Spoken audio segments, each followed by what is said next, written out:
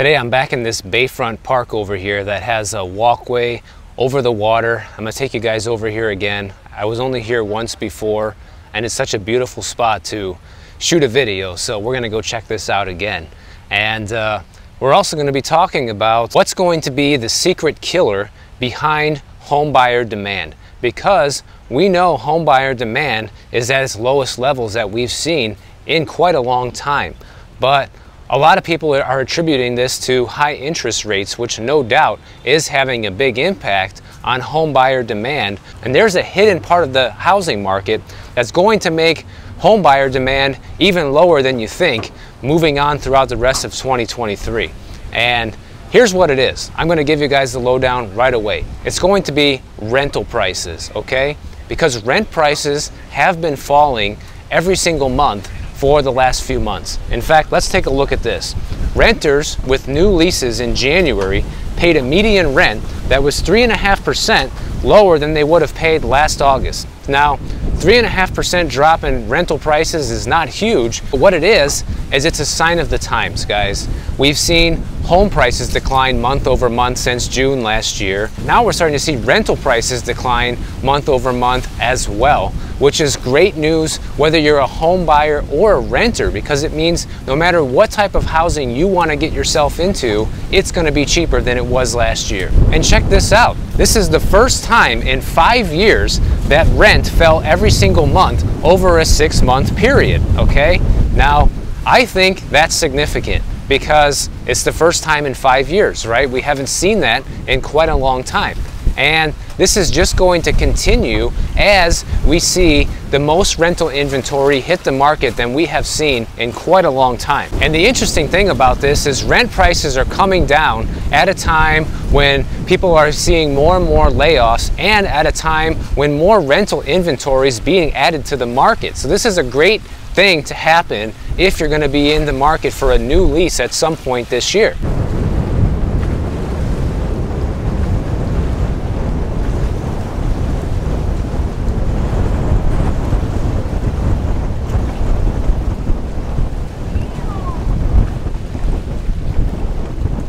Now take a look at this chart from Apartment List. This shows the rise and now fall of the median rent price across the nation. And you guys can see just how much things spiked up throughout 2021 and 2022. And now that we're hitting the beginning of 2023, you can see how things have been starting to level off. But the thing is, guys, the rental demand that we saw over the past couple years did not go unnoticed by developers. And so, according to CoStar Group, we are going to see the largest swath of rental properties hit the market in 2023 that we have seen since 1986. Okay? That was 37 years ago, guys, to put that into perspective.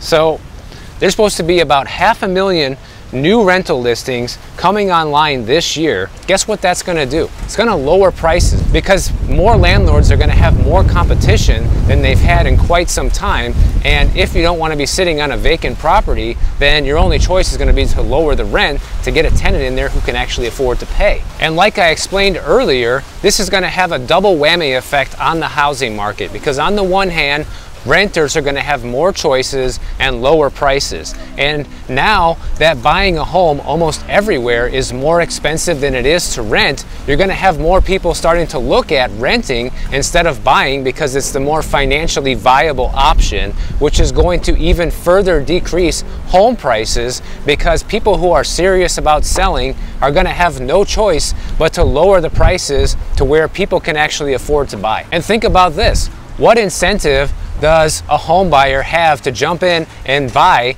when buying probably costs 20 or 30% more than renting a similar home in the same neighborhood? And they can just get a better deal right now and wait out the housing crash versus you know people that are just jumping in right now and getting the front row seats to the Titanic. You know what I mean it just doesn't make any sense. And people aren't stupid. They're going to opt for the smarter decision, which is saving more money right now because everyone's being squeezed from the recession and inflation. So saving money on housing prices is going to be helpful for everybody. And it gets better from here, guys. People who say I'm all doom and gloom, you have no idea what you're talking about because you're missing out on some fantastic news right now because this new rental inventory is already starting to have an impact because take a look at this. The amount of tenants who renewed their lease in January declined by 52%, which is the lowest level for January that we've seen since 2018, okay? That was five years ago. So what this data probably suggests is that we're likely seeing a scenario where tenants are not renewing their leases because they're finding better deals elsewhere. And what you're probably gonna see as more landlords take notice of this is more landlords are probably going to not be increasing the rent much, if at all, during their next lease renewal because they don't want to lose tenants. I mean, getting tenants right now is not going to be as easy as it was over the past couple of years. And basically the rental market is mirroring the for sale market with real estate because the year over year rent prices are still higher than they were a year ago. Similarly to median home prices still being higher than they were a year ago. But what we're seeing is month over month declines, which eventually will lead to a year over year decline. But it just takes time, like everything else, guys. The prices are not going to come down that quick. They didn't go up that quick either. It might have seemed like it was quick, but think about it. The prices took three years almost to get to where they're at right now, you know? We had the lockdown start in March 2020. It's almost March 2023. So it took us three years to get to this point. So it's going to take time for all this to reverse, but we're seeing it happen right now.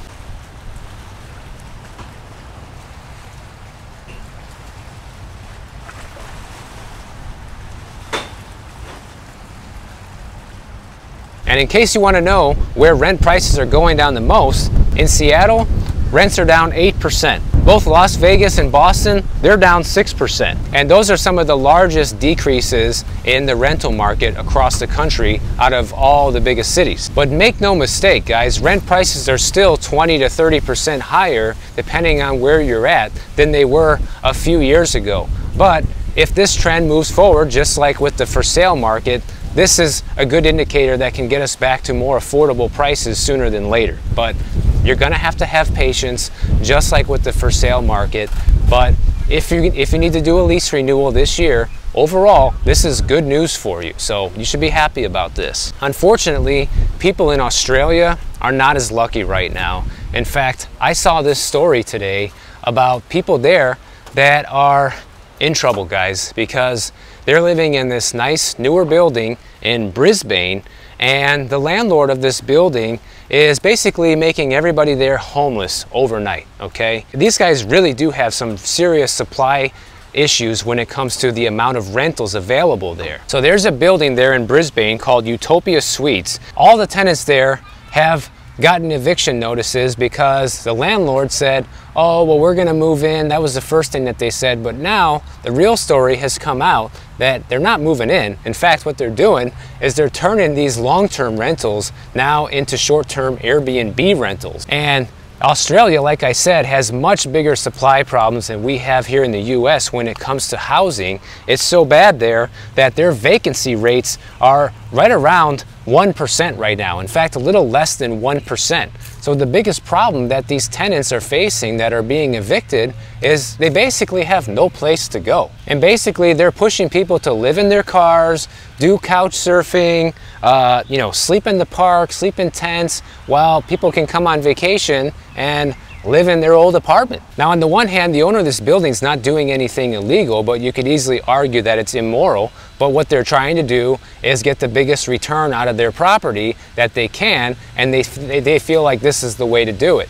But what they should have done from the beginning, since this is a newer building, is made it a mixed use building from begin with. Like for example, here in Miami, they're building a new condo in Brickell that is literally for this type of situation. You can buy one of these condos and Airbnb is perfectly legal there. You can Airbnb it as much as you want or live in it, use it as much as you want, rent it as much as you want. And these apartments probably should have been set up with something similar like this from the beginning to prevent this issue from happening and just kicking all these people out. I mean, if this were happening to me and I was living there, I'd be trying to rally together all the tenants who are there who are getting kicked out and say, hey, as soon as these Airbnb listings come online, let's book all of them and we'll all move back into our old apartments and guess what we're not going to leave well we won't pay rent let's get evicted you know like let's make them evict us let's see how long it's going to take to evict 300 people. You know what I mean? I'm just kidding. Like, that's pretty extreme. Who knows what kind of trouble these guys could get in if they did that. But hey, you got to fight back somehow. And what they're doing to people is just wrong, you know?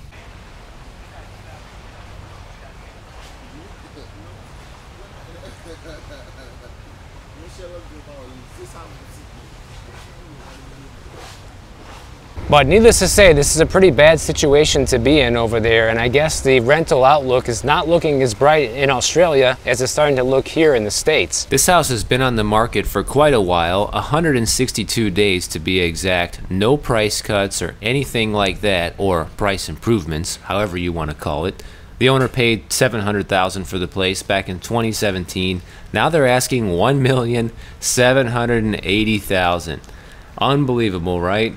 But if you think that's crazy, the previous owner before him paid 400,000 for this house just a year earlier in 2016 and now 1,780,000.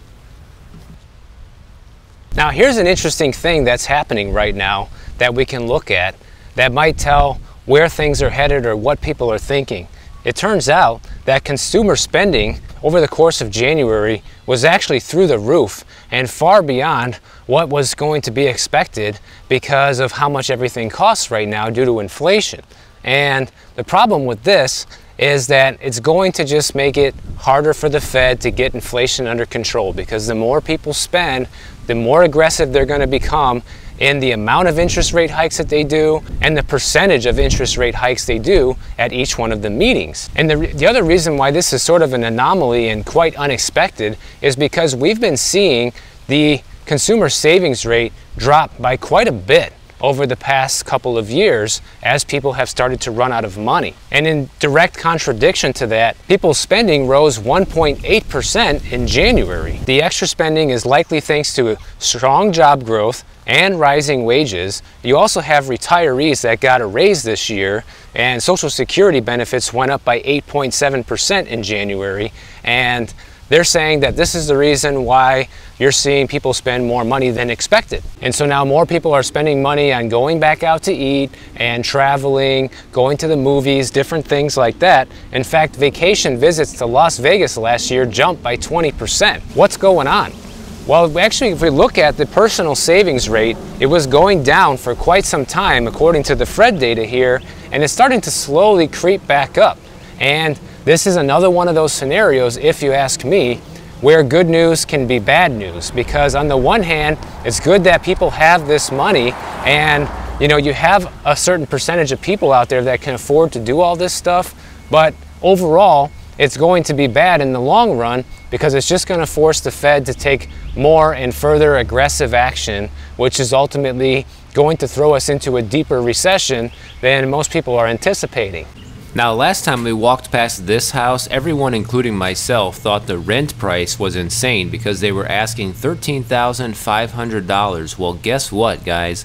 They rented it for $13,000 and it wasn't on the market for that long, only a month and a half before the whole deal closed from start to finish. So that's pretty normal for a rental and uh, pretty surprising. But when you look at this house, it is a beautiful property. It's on the water. It's been updated. You know, it's pretty decent size, but man, $13,000 a month in rent, you got to be bringing in some serious dough to pay that rent.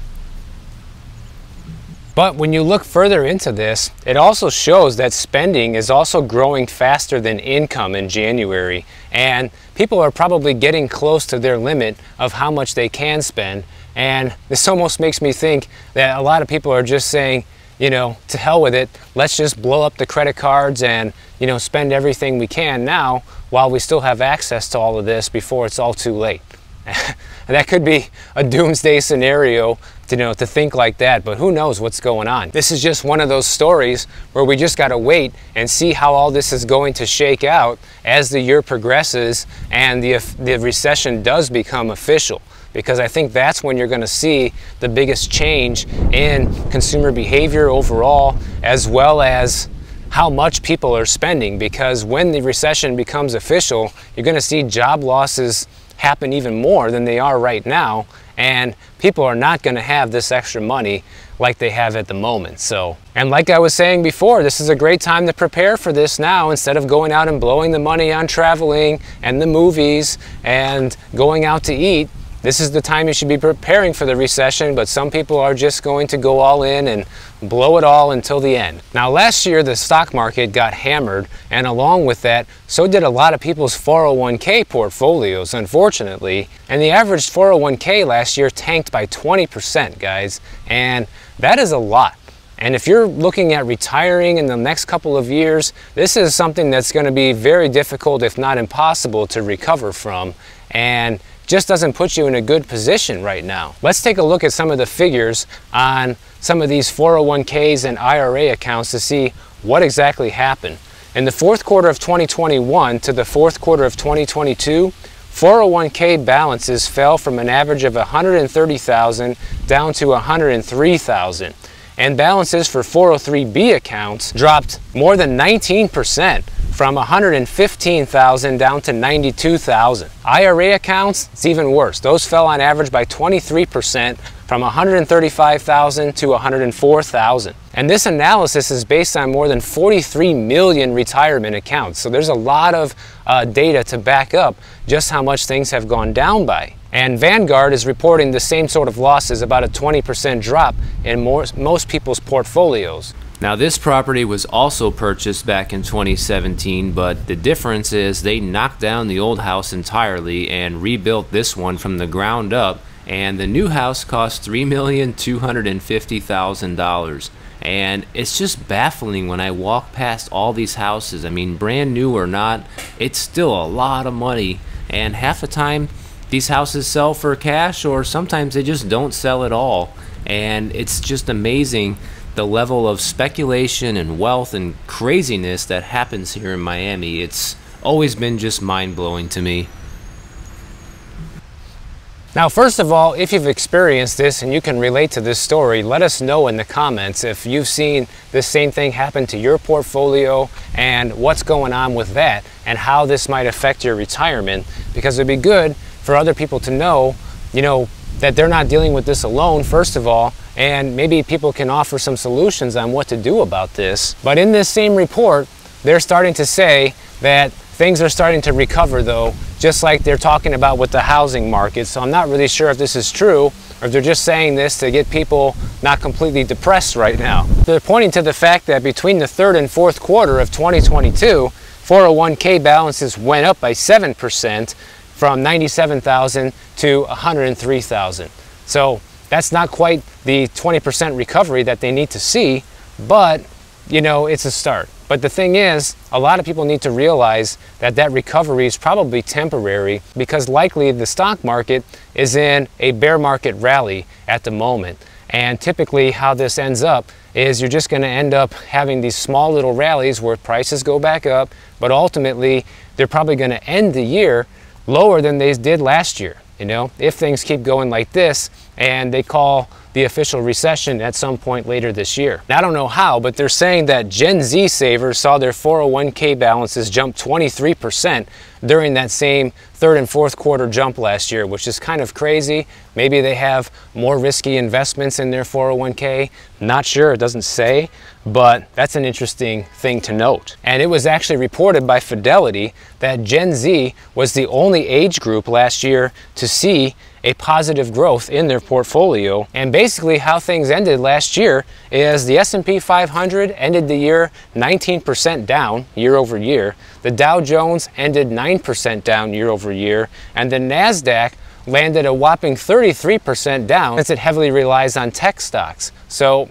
it's going to be interesting to see if we're going to post another year over year loss this year due to the looming recession that hasn't been called official yet, but is supposedly coming. Because one interesting thing to me about the recession is because it hasn't been deemed official at the moment, then they're kind of just delaying the inevitable in terms of the effects this is going to have on the market.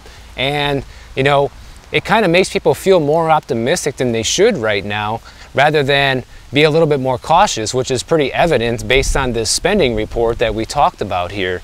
And the more people that believe things are good are going to keep spending like times are good until they get completely smacked in the face with the recession and they're like, oh, you know, things changed. Well, we didn't know. of course you didn't know, guys. You haven't been watching my channel. And if you want me to end this with some good news, the good news about all of this is if the stock market does post another year over year loss and the real estate market finally hits year over year losses this year as well, this is all good news, guys. How is this bad news? This is fantastic news because it means that things are becoming more affordable again. That's great news. We need that. We need affordability right now. Because the way things were going, if it kept going up, up, and up, nobody would be able to afford anything in the span of a few more years. So the fact that it's all starting to reverse now, to me, is fantastic news. But take it however you want, as usual. If you guys enjoyed this video, make sure you click the bell notification down below. YouTube will alert you every time I post a new video. And if you don't want to wait, check out my next one on the screen right over here, and I'll see you in the next one.